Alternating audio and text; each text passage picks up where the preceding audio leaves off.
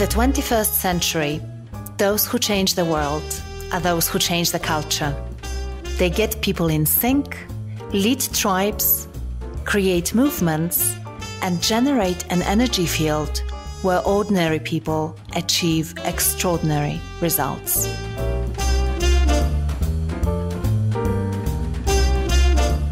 There's so much talk and time spent on whether to, you know change should be top down or bottom up. But the truth is, is transformational change really happens side to side. And as soon as as soon as you feel like you have to convince people you're going down the wrong path either you've you've got the wrong problem or the wrong people and the the way to really bring about transformational change is to identify people who are already enthusiastic about the vision. And then you empower them to bring others in who are maybe slightly less enthusiastic. And those and that's how you gain momentum and bring in more people still. So and that's really what a cascade is is uh, so you want to identify those early apostles and and empower them to carry your movement i'm aga Bajer, and this is the culture lab podcast where you will find ideas and inspiration on how to harness the power of team and organizational culture. I talk to leadership thinkers, culture experts, entrepreneurs, and all sorts of movers and shakers, and together we explore the fascinating topic of culture, leadership, and personal growth. If you like what you hear, subscribe to the podcast on iTunes. Or better yet, write a review on iTunes, and share the podcast with your followers and friends on social media.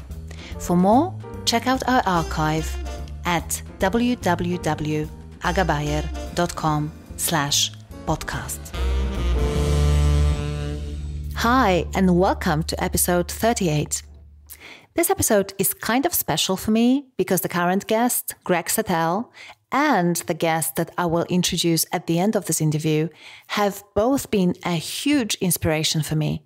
And it's not just in terms of how they've shaped the way I think about culture, but also in terms of what I believe is possible for me and for us generally in our work. I have to admit that very often I have to pinch myself just to make sure that it's all real. And indeed, I do get a chance to speak to all these brilliant, brilliant people who come on the Culture Lab as guests. And since I'm giving a shout out to our guests, I also want to say that I'm super grateful for our growing audience and for the listeners who reach out, share their thoughts, encourage us to keep going, but also for those of you. Um, who haven't um, contacted us yet and uh, who haven't been in touch. I know that you regularly tune in and listen, and knowing that time is our most valuable, non renewable resource, I want to thank you for being here. And I hope that we manage to do a job good enough for you to keep coming back. Okay, so now let me introduce my guest today. Greg Satell is a popular author speaker, and trusted advisor whose new book, Cascades How to Create a Movement That Drives Transformational Change, was published by McGraw Hill just a few days ago in April 2019. I've read the book, it's incredible. You should get it. And his previous book, Mapping Innovation, was selected as one of the best business books of 2017. Greg is also a contributor to Harvard Business Review and Inc., as well as Barron's and Fast Company. And he's really an amazing thinker and a great speaker, and you'll find out soon uh, listening to this interview. If you've listened to the Culture Lab a few times, you'll probably know that I really don't believe that you can mandate culture change. The only thing that you can do is to try and create a movement within your team or your company. And Greg devoted a significant amount of time and energy to research what makes successful movements effective. And he breaks it down for us in this episode, talking about how the principles of successful social movements can be applied to your team and your company. Have a listen. So, Greg, welcome to Culture Lab. Thanks for having me, Aga.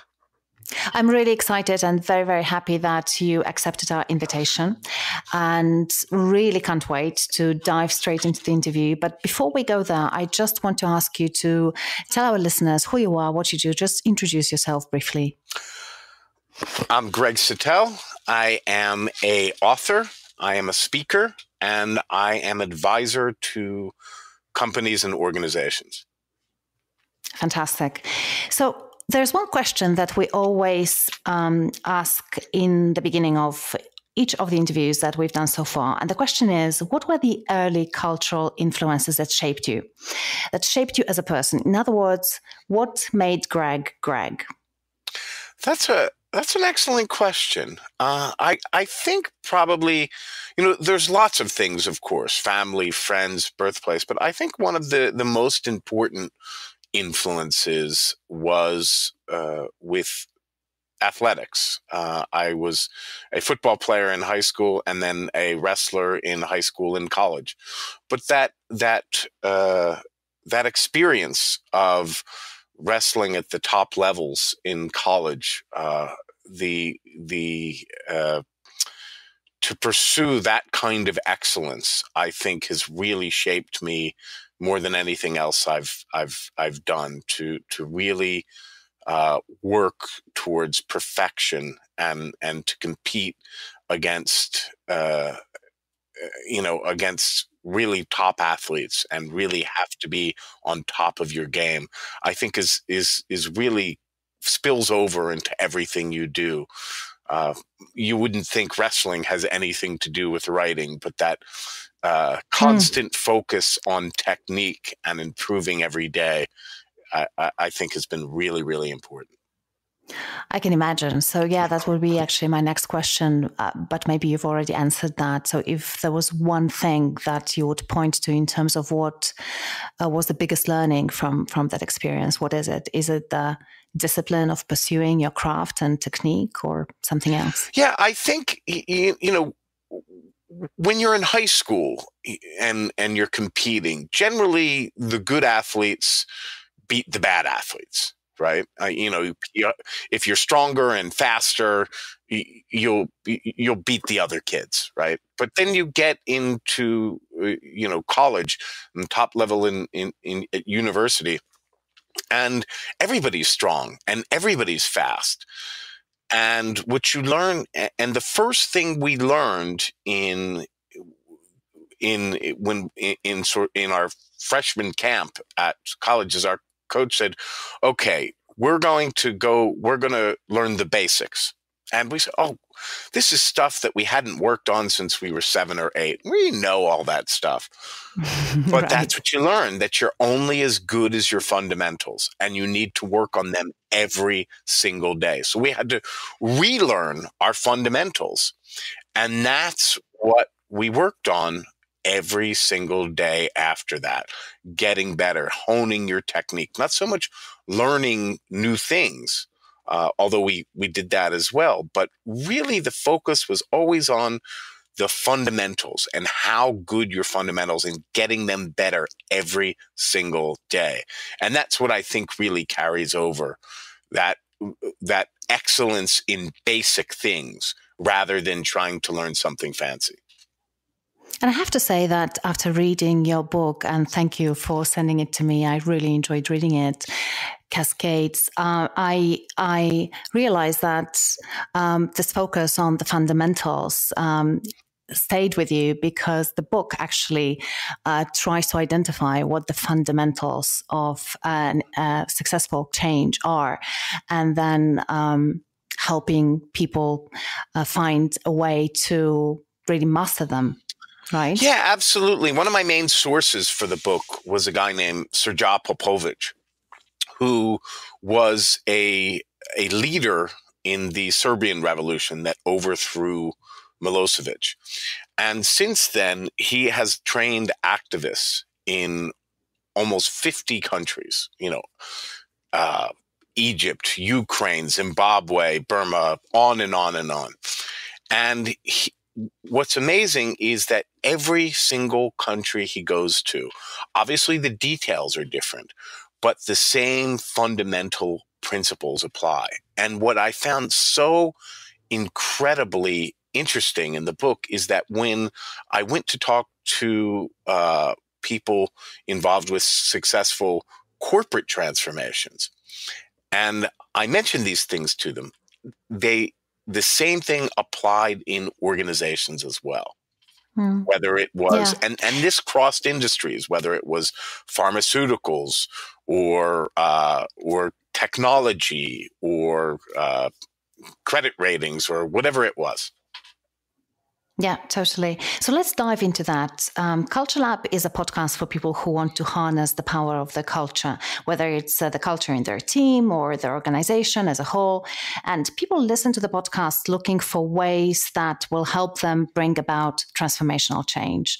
And, you know, one of the things that I learned over the years is uh, about transformational change is that when it comes to culture, you cannot mandate a culture change. Um, and you know what you can do is to start a culture change movement.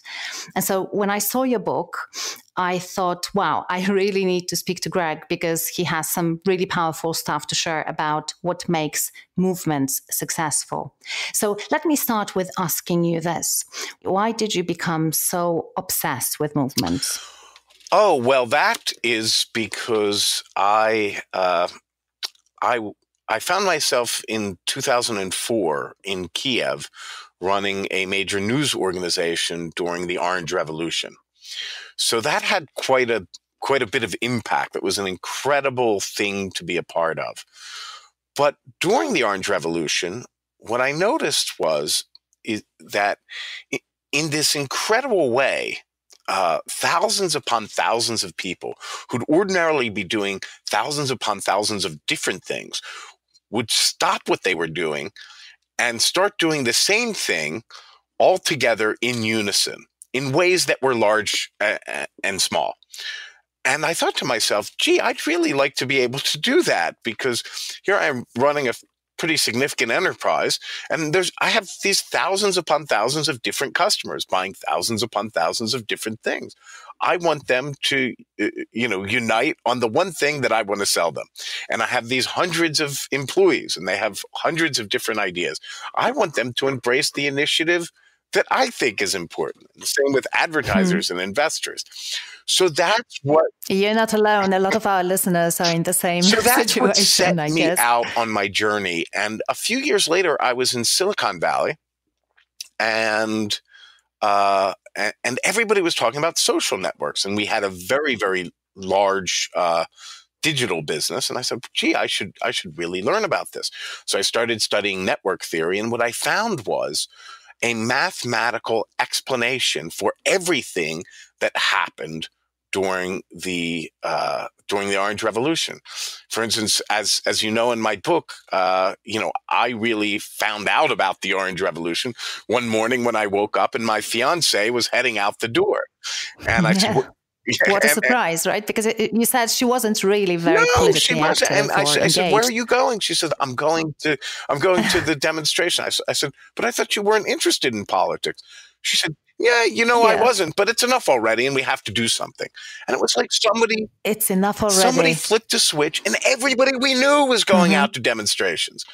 Uh, I mean, it was something yeah. that nobody would talk about. Nobody, you know, in, in contrast to Poland, where, uh, you, as you know, the national sport is to come to work in the morning and and and read Gazeta Wyborcza and then kurwa, pizda, tupe, jabana. Hopefully, your listeners don't speak Polish very well. Um, Otherwise, we'll have to beep it out.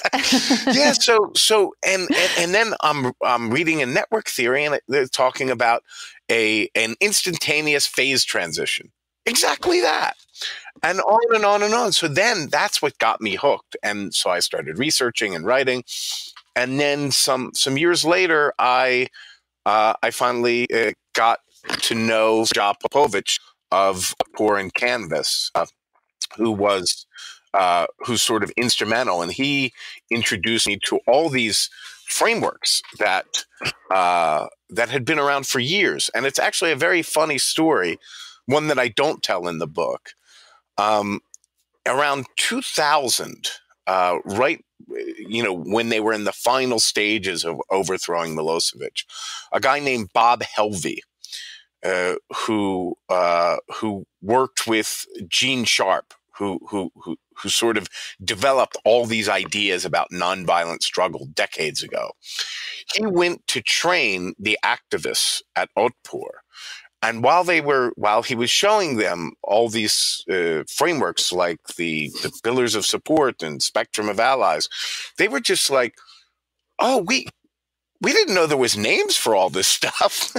they had, you know, they had figured it out because they through their failures, they had failed in 92, failed in 96 um, much like in poland where they failed in 1970 and they you know and then they they sort of failed again in 1980 and then succeeded in 89 so they um uh but what i found so incredible in the book is every major movement every historic movement uh except somewhat for the civil rights movement because they they had they had really studied uh, Gandhi, and and and they were much more uh, prepared than the others. But pretty much all of them had some initial failures. They started off with much different, you know, personalities, philosophies, uh, contexts, but they all ended up with the same basic principles that allowed them to succeed. And that's what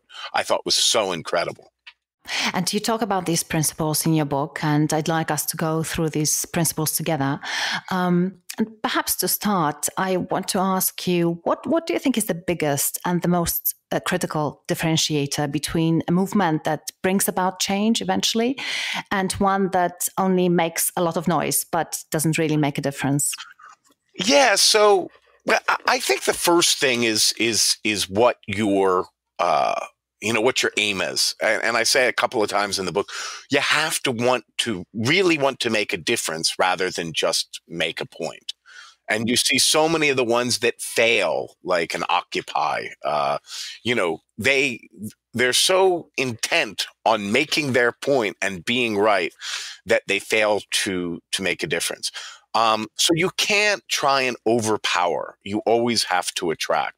And I think in the corporate context, where you see efforts go wrong, is that they're focused on convincing people and you know we have this whole change management doctrine which i always think is is you know it's it's sort of like some consultants got together you know 20 years ago or something and said you know we realize that people don't really like to be told what to do. So you know let's come up with much nicer ways of telling yeah. people what to do. And there's so much you know um there's so much talk and time spent on whether to, you know change should be top down or bottom up. But the truth is is transformational change really happens side to side. And as soon as as soon as you feel like you have to convince people you're going down the wrong path. Either you've you've got the wrong problem or the wrong people and the the way to really bring about transformational change is to identify people who are already enthusiastic about the vision. And then you empower them to bring others in who are maybe slightly less enthusiastic. And those, and that's how you gain momentum and bring in more people still. So, and that's really what a cascade is is uh, so you want to identify those early apostles and and empower them to to to to carry your movement. So do you still remember how you came up with the title for the book and this term cascade? What was the origin of that? Oh, it went through a bunch of really stupid titles over the years. I've been working on this book for 15 years. And it, to, it does seem like a lot of work has gone into this. This would be another of my questions, actually. How long did it take you to yeah. do all this research and pull it together? It seems like a lot it, of time has and, and energy has gone into it. And it went through several iterations, and this is actually the fourth time I tried to get it published. So, uh, and it's a gut wrenching, you know, oh my goodness yeah. process of getting a book published and i went through it three times failed before i and the only reason i succeeded the fourth time was the success of my earlier earlier book so Um, uh, but uh, the, I don't know. The, the name Cascades just kind of struck me one day because it's. I think it's it's it's it, it, you know it's a very colloquial term. Everybody knows what a cas. Everybody gets a feeling of what a cascade is, and at the same time, it's technically accurate. That's what. Uh, that's what it's called. It's uh, a viral activity is called a network cascade. Mm-hmm or a yeah. viral cascade. Yeah. Yeah. Yeah. So, so, um, you're saying that basically the, the, the most important thing is not just want to make the point to be right, but actually make a difference.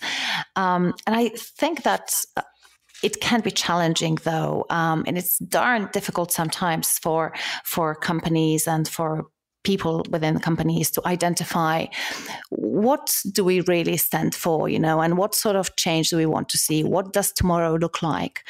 Um, so I wonder if you have any advice for our listeners how to really articulate that vision clearly and gain some consensus, and then, of course, start building the momentum uh, where people engage with that vision and commit to that vision. Well, it really just takes work. So in our workshops, what we do is we say, you know, if you could, if you could change anything, right? If if I gave you like a magic wand or made you, you know, king or queen for a day, and you could change anything you wanted, what would that change look like? You know, don't think about what's possible, but if there was anything you could change, what would it be? And and that's quite a difficult question um, and it takes quite a bit of work to get there. But once you do, uh, you know, you have to sort of back up and then uh, and identify what I call a keystone change, because that grand vision. Um, and I talk about a lot of them in the book, uh, whether it was the turnaround at IBM in the 90s and also Alcoa, um, you know, implementing lean manufacturing techniques at uh, at uh, Wyeth Pharmaceuticals, or um, more recently, the cloud transformation at uh, at uh, at uh, Experian. They all um, they all came to it in different ways. For instance, at Experian, uh, the CTO or the CIO, he went to talk to customers and to find out what they wanted. And what, what they wanted was real time access to data. And he said, well, if I, in order to do that, we need to switch to a cloud uh, architecture. We can't do that with a traditional architecture. So he saw that that was a great possibility, but he also saw that it was a really, really big problem because, you know, Experian's a company that's been around for decades. They rely on that architecture. There was issues about their business model, not to mention the security. Um, a, a, year ago, one of their competitors, Equifax, had a massive data breach. So this was it was quite quite a tough sell, but he didn't try to sell it all at once what he did is he he got together some people who were already enthusiastic about it and trained them with the expertise and they helped bring in some others. But even more importantly he didn't try try and achieve it all at once. He identified a keystone change which was to build internal apis um, and which uh, so it, it, those were much much safer and uh, and uh, what a keystone change is it's a clear and tangible goal. It involves multiple stakeholders and it paves the way for a future change. So that was a clear and tangible goal. He had to get a lot of the same people on board that he would for the full cloud transformation. And because as soon as they they uh, they developed these internal APIs and they could share information between departments and divisions within the organization and people could get things faster and serve their customers better. They immediately saw the value and that helped build the momentum for the larger transformation. Yeah, totally. And this is the first principle actually in your book find the keystone change. That's the first, the most important thing to identify that. And then you say, in order. The first principle actually is that change is small groups loosely connected, united okay. by a shared purpose. right. But in part two, in the practical yeah. part of the book, that is the 1st mm-hmm. principle. Yes. Yeah. Yeah. So so, yeah, so let's talk about what you do going from there. So, let's say that you identify what needs to change. Um, the next step um, that you lay out in the book is planning. And my question is, you know, how on earth do you plan a movement? Um, it's probably quite a quite a challenging thing to do. So, what have you learned from your research and from working with uh, organizations in terms of that? Well, again, here, this is where we can lean on the experience of decades. There are two tools that you use to build uh, a plan. The first is called the spectrum of allies, and your listeners can Google it uh, and an image search, and it'll come up. There is, and you you you basically want to define who are going to be your most active supporters, who are going to be passive supporters, who are going to be neutral, who are going to be passive resistance, and who are going to be active resistance. And that sort of lays out the terrain. You can imagine uh, like a general looking at maps. The, the spectrum of allies is your map right? So that's the first step in the plan. And you want to focus your efforts as far to the right of the spectrum of allies as you can. Uh, so not into active uh, active resistance, but pretty deep into passive resistance and start moving passive resistors into neutral, neutral into uh, passive support, passive support into active support. You know, that's so interesting because this is also one of the first stages that uh, we work on with our clients. We call it stakeholder mapping, but it's quite similar. And, and very often, you know, people just completely skip this step and want to start planning actions without thinking about the whole ecosystem and who can support them and who could potentially um, be a person who's going to resist and basically create a lot of obstacles right? Well, stakeholders are a little bit different than the spectrum of allies. You make an excellent point. The the the spectrum of allies is all about constituencies. So these are people who who who very likely have no power, right? No power to change anything. Um, but you want to target your efforts as as you know as far into passive uh, resistors as you can but not quite into active resistors. What you want to do with active resistors, you don't want to engage with them, but you do undermine their support. And what what very often happens, and by very often I mean almost always, is once they feel that support being undermined, they will attack and overreach. And that sends more people your way. So the second, uh, so that's the spectrum of allies and that's constituencies. The second is the pillars of support. And these are true stakeholders. So, you know, imagine, you know, some all powerful dictator like Kim Jong un or, or, or, Saddam Hussein or somebody like that. And then imagine what would happen if all the janitors decided not to come into work one day.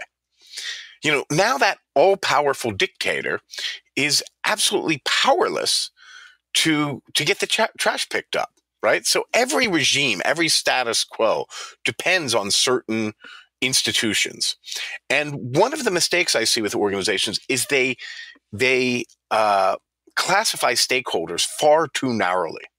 So in a political movement, it's going to be something like uh, you know uh, pillars of support are going to be things like the military, the army, uh, uh, the police, the education system, the media, the business community. Um, uh, in a corporate transformation, generally uh, in a corporate transformation, people look at things like different departments, and those are, of course, are important, um, or uh, or you know division heads or something like that. And of course those are very very important pillars. But often quite as uh, just as important are things like uh, regulatory agencies uh, industry groups um, consumer groups, customer groups, sometimes the education system, partnerships with universities, uh, because there's all these, because they have an influence as well. And what you want to do when you're designing tactics, every tactic needs to mobilize a particular constituency in the spectrum of allies to influence a stakeholder in uh, in the pillars of support. So it's always you're mobilizing, you know, mobilizing what to influence what, right? And and and then it, you can also track it dynamically with something called a power graph. But that's the basic idea of of, of how you start to build mm-hmm. a plan. So what's power graph? Because I think since you've mentioned that, uh, if you can just tell us briefly. So, so there, you you know, every three months or six months, you start mapping where uh, each institution in the in the pillars of support is in terms of active support, passive support, neutral, uh, active. Uh, passive resistance, active resistance, so that you're constantly looking at you know, who you're influencing and whom. I mean, it's not very, very scientific. It's just where you feel they are on a scale of one to five. Um, but it does help to track and to say, uh, and, and, and, and help you sort of plan where do we go next? Mm, yeah, I think measuring, even if it's just observable and as you say, not very scientific, it really helps to move the needle. So uh, I can see why why that's important and baselining continuously where we are now, um, as compared to where we started from, and also in relation to where we want to go. So um, Okay, so that's very interesting, and that that uh, that is a second principle: um, planning uh, with the spectrum of allies and pillars of support. Um, and Let's talk a little bit about the first principle, the networks of small, loosely connected groups um, of people, uh, because that's definitely the fulcrum of your whole approach. It's, it's really important. Um, so, can you talk to us a little bit about why they are so important and then how can someone leverage that in a company? Yeah, well, I think, you know, that's the, that's the first part of the book, and that's the basic principle that runs through everything. And it's actually it's it's quite interesting because we've had this uh, we've had this notion of networks for centuries. I mean, uh, graph theory, I think, is two, over 200 years old. And people throw this term around networks and ecosystem. Ah, it's a network. It's, you know, uh, but what's in, what's really important is to know that there are networks are a mathematical phenomenon and net, there are certain principles and rules to network dynamics. You know, very much like, uh, you know, gravity means things, you know, if you throw something up, it's going to come back down. There are rules like that for networks that are very much laws of nature. Uh, and for most of the last 200 years, people thought mathematicians and uh, experts and otherwise, the general thinking was that you had two properties to networks. One was uh, clustering, so really neat, tight groups. And we know in an organization having that strong cadre, that strong, uh, you know, team type teams is really, really important for excellence. We were talking about my wrestling earlier on. You know, it takes a while for teams to gel right? Um, and, and, you really need that tight, tight team spirit to uh, and where people know each other very well to to perform at a very very high level. You know in, in the united states we have like the navy seals that are very much built on that principle. Uh, and then at the same time you have path lengths and this is how many degrees of separation or how much social distance there is in the network and generally, the uh, the feeling had been that those two things were in opposition to each other. So you could have lots of you know very very tight tight clusters, or you could have uh, you know short social distance where everybody's connected to each other and what was found by Watts and Strogatz in the in the late 90s was not only could you uh, not only could you have both the best of both worlds uh, in what they called a small world network, where you have tight clustering and short path lengths. So tight clustering and short social distances, but that networks actually tended to become that way. And if you think about that from the the through the lens of an organization, because we know most organizations are not small world networks, if uh, if networks tend to be small world networks and organizations tend not to be, then the only conclusion you can come to is that organizations are not small world networks because we prevent them from being so. And that's yes. really amazing, right? Uh, um, yeah. And and the other thing is that it takes such a it takes a very very small amount of mixing to bring social distance within a network or an organization crashing down.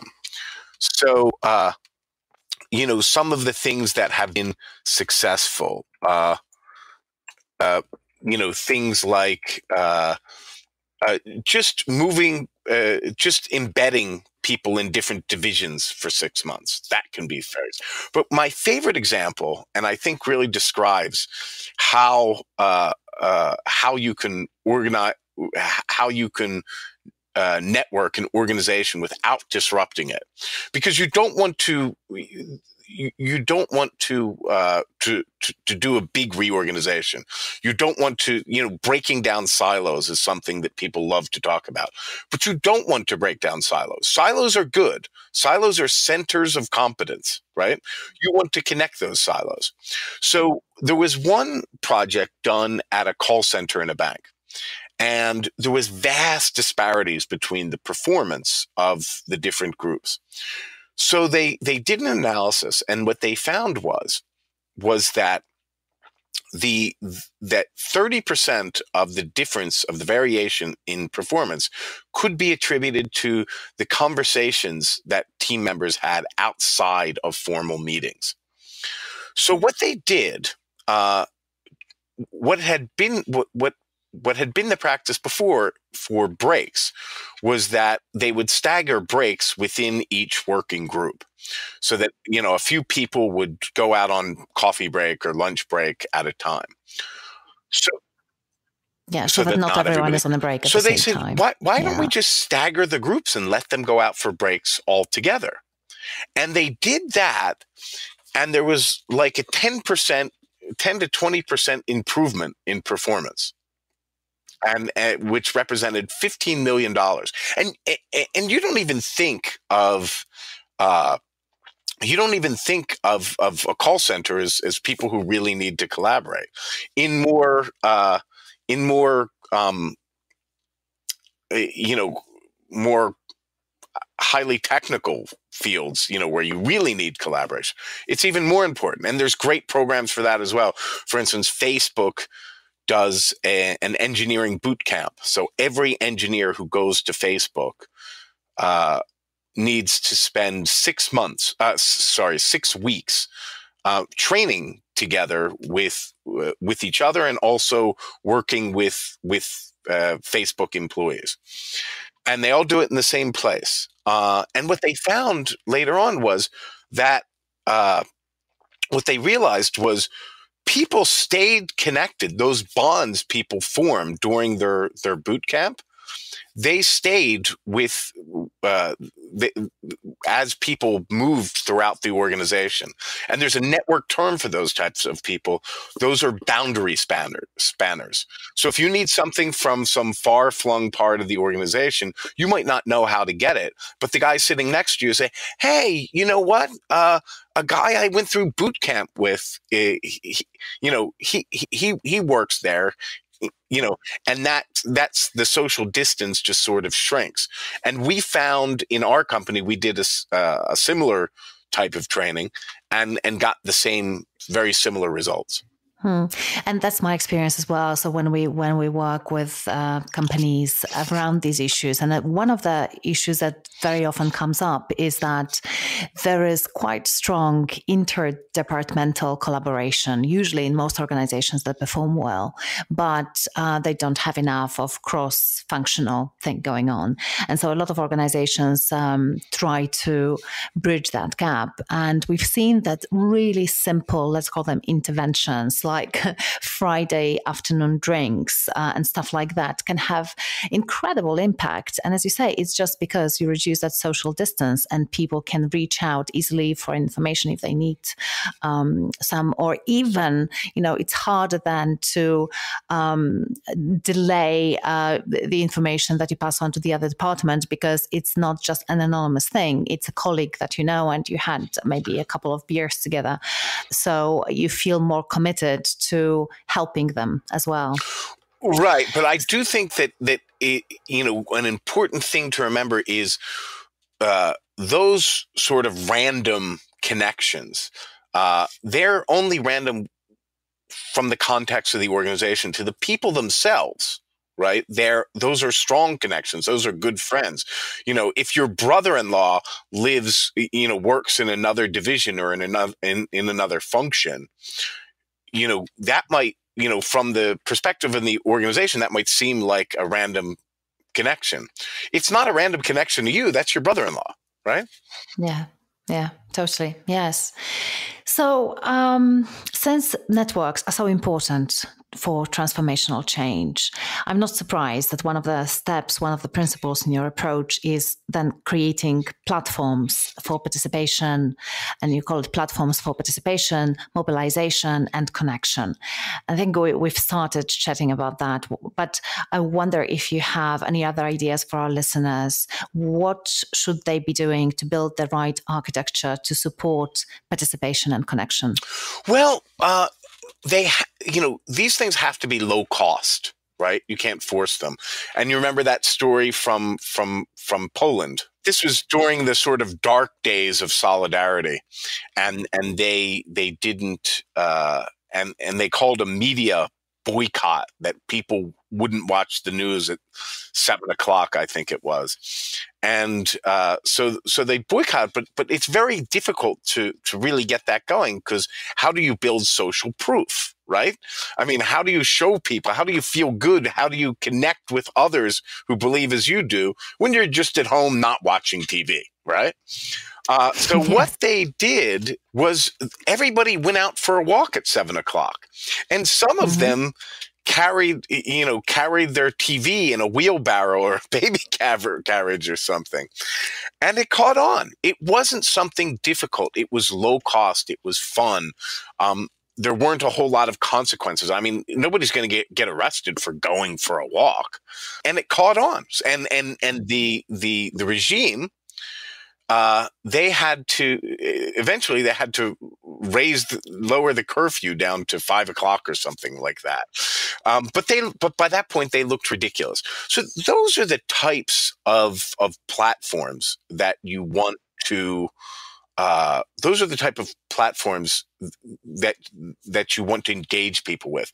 Things that build. And I understand that one one one of the really important elements from from what I've read in your books, there was a common thread there.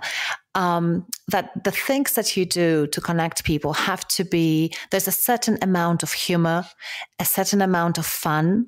It has to be easy for people to do. Um, I think those are the themes that I have seen. And relatively low risk. Um, and I think definitely, you know, it's safer in the numbers. So if you see your neighbors um, taking their TVs out as well, of course, it's, it's safer in the numbers. But also at the end of the day, it's, it's not such a hugely risky thing to do. Um, but I think what it does is it makes people committed to the cause. And perhaps next time they would be willing to do something even more risky or something that requires even more effort on their side. Right. From a corporate point of view, um, what you want to do, because humor and everything like that, it's really, as you said, about lowering the cost. But from a corporate point of view, what you want to do is you want to do get the maximum impact, maximum connection for the least disruption, right? So you don't want to break down silos. You don't want to be breaking things down. Um, so, uh, you know, s- certain easy, easy things like um, volunteerism. So, a lot of corporate social responsibility is, you know, is a, a, a you know is is becoming a bigger and bigger thing. So, how can you reimagine those programs to help people connect and work together for a day or a week or whatever it is. Uh, that I love that example of the call center. You know, zero just, uh, uh, you know, I can't. What do you think it costs to let people go out on break together rather than separately? I mean, probably nothing, and and and there was probably no resistance to it. One of the things that was so interesting when I was talking to the chief human resources officer at uh, at Experian. He told me that you know we saw that we did this uh, bike ride and uh, that they do a bike ride every year, and we we saw that you know these people who are doing the the the charity bike ride that they're forming real bonds, and those bonds are turning into professional uh, collaborations across organizational barriers. So he said, I, I wanted to think how else we could do that. So he started tapping people to uh, to build clubs around things that they were already passionate about and to bring others in. And then they started something, uh, I forget what it's called. Um, but groups around identity. So women's groups. Uh, so there's a there's a women of Experian. There's a military veterans of Experian. There is a gay pride at Experian, where people can connect about around things that they're passionate about. So that's that's really how you get people involved. Not not not trying to rile them up and get them enthusiastic, but to give them a platform uh, and empower them for something that they already are passionate about.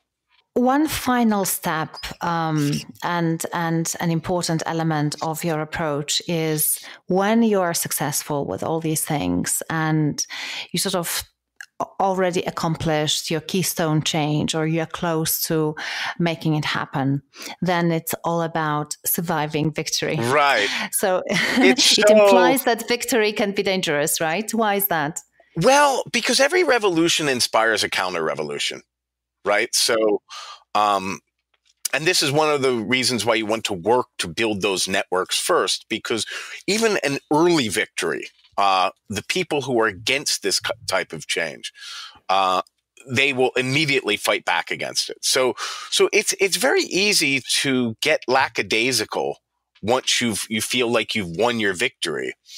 Uh, and that's when those who uh, who oppose you will uh, will strike. So you know a, a, very clear example of this, of of course, in in uh, in Egypt, where they you know got rid of Mubarak and ended up with uh, Al Sisi. Uh, but also in in the corporate world and organizations, so often we see turnaround efforts or a startup get you know get some initial success and then immediately fall by the wayside. And which so the way you avoid that is you plan to survive victory from the beginning. And you do that by focusing on values your values and your culture. One of my favorite examples of this is uh, Nelson Mandela in uh, in in South Africa, where you know for years people were accusing him of being uh, you know an anarchist, a communist, all sorts of things, and he said you don't have to you don't have to to uh, guess what I believe in. It was all written down back in 1955 in what was called the Freedom Charter, and then when he got into power. Uh, he had to keep by those principles. So he couldn't oppress white people because in the Freedom Charter, it said equal rights for all people. Uh, and it wasn't mm-hmm. about Nelson Mandela or the ANC, it was always about those values. So when he got into power by keeping those values, uh, because values are always constraints, that's why we think of Nelson Mandela today as a hero, not some tin pot dictator who once he he got into power started oppressing others. Yeah. Yeah, I think that that's a really great example. And you talk about values in an interesting way in the book, um, which I find. Just yeah, if I can absolutely. add, if if I can add one more thing, um, what was what was amazing to me is how clear those same principles carried over to the uh, to the corporate world. For instance, uh, one of Lou Gerstner's key lieutenants in the uh, in the IBM turnaround in the 1990s, he told me, you know, if if that if that revolution in in the 90s, if it had just been about strategy or technology, IBM wouldn't be around today. He said, but because it was all it was really about values, that allowed us to evolve and adapt as market conditions and technologies changed. Hmm. Yeah. Um, so let's make a quick recap of all the steps for our listeners um, in, in, the practical part of the book, um, because I think we've we've covered all of them. But it would be great to do a quick recap and give our listeners all the steps in one go. So the first the first principle was find that uh, keystone change that you want to make, right? Right. And then, do you want to walk us through it? Sure. Uh, so, so first is identifying a keystone change. Second is making a plan with the spectrum of allies and pillars of support. Uh, third is to network your movement. Uh, fourth is to indoctrinate a genome of values. And just a few words about that. I call it a genome of values because values are rules for adaptation. Mm-hmm. And uh, values are important because they are constraints. One of the things I do in in workshops, I ask people what their values are, and they usually say things like commitment to customer excellence, and then I say, what do those values cost you? Because they don't cost you anything; they're not really a value. So that's the fourth thing. Uh, indoctrinating a genome of values. The fifth is building a platform, building platforms for participation, mobilization, and connection. We talked quite a bit about that. And then finally, to, uh, to uh, plan to survive victory. And if our listeners want to find out more about these principles, they can definitely get your book. And I would definitely recommend doing that. Cascades, how to create a movement that drives trans- transformational change. I think it's going to hit the bookstores really soon. April 11th, is it? April 12th. 12th. Very close. Okay. Very good. so definitely get the book. Um, where else can people find out more about you, about the approach, about the work that you're doing? Well, you can find more about me on my website, gregsatell.com. Uh, and also uh, on my blog, which is digitaltonto.com. Awesome. And it's a great blog. And it's been, um, I think, ranked as one of the top blogs on innovation and change, wasn't it? A number of times. Uh, innovation, excellence uh, uh, uh ranks ranked yeah. me, I think, to number two on their list. Wow, congrats. And congrats on the book. It's really great. It's a great still resource. room for improvement, right? Always. Number two. Always. so, Greg, I think we're ready to move to the last section of the interview, which is the rapid fire questions. And I'm going to ask okay. you five questions in rapid succession, and we'll aim at answering them in under two minutes. Are you up for it? Okay. Okay. I'm up for it. Let's go for it. So, how do you define organizational culture?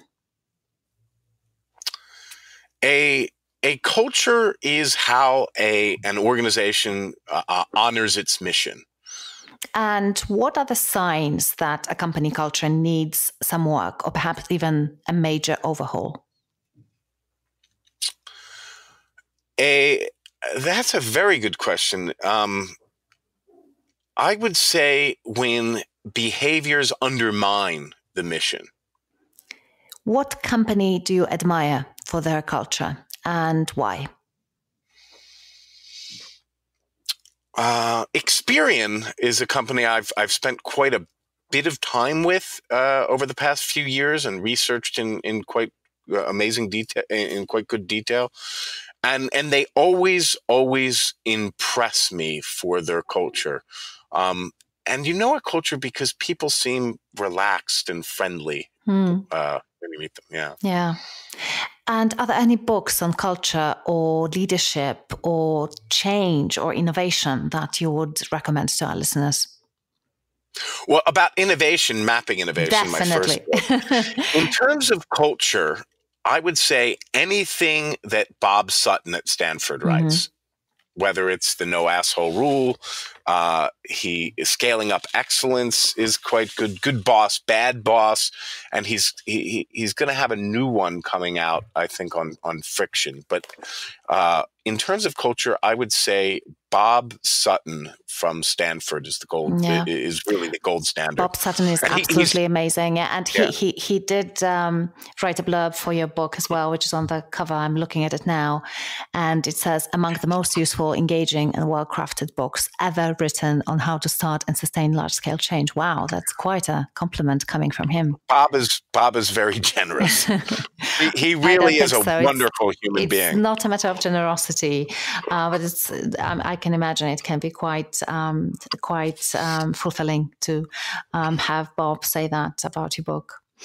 Okay, so how about one thing that our listeners can do tomorrow to sort of you know set up their own culture lab and start cultivating a culture that will help them and their teams to bring their vision to life Identify your apostles. Okay Who are going to be those first enthusiastic people who are going to spread your gospel? hmm Okay. So, one last thing. Um, who would you recommend uh, I have as a guest on the podcast? Well, Bob Sutton would be a good one. Uh, he, he's he's obviously a great one. Yeah.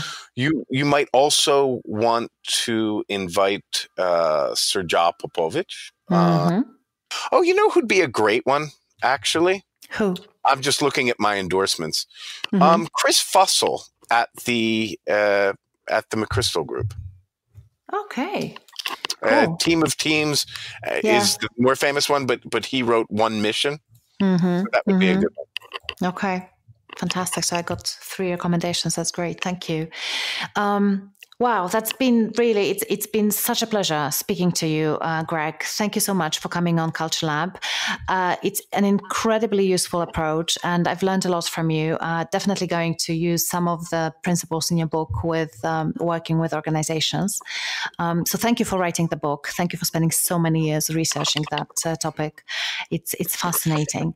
Um, yeah, and I hope we can get you um, sometime in the future again. Dziękuję serdecznie. Bardzo proszę. Wielka przyjemność. Całe, cała przyjemność na moja strona. Wow. Przyjemność. so- That's a tough one. This is so impressive, everyone, that Greg speaks such fluent Polish. It's just unbelievable. Okay. Thank you. Dziękuję.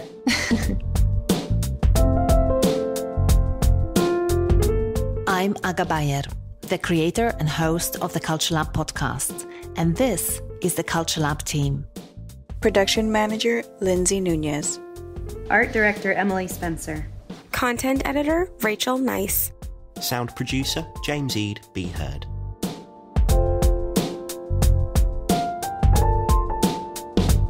If you haven't subscribed to Culture Lab yet, you can do it on Apple Podcasts, Stitcher, Spotify, and many other places where podcasts are available. If you'd like to subscribe to my newsletter, The Culture Lab Insider, go to www.agabajer.com slash podcast and scroll down to the very bottom of the page. That's www.agabajer.com slash podcast. Also, we would be ever so grateful if you could rate and review Culture Lab on iTunes. And before we say goodbye, I want to give you a short preview of my next interview with Lindsay McGregor.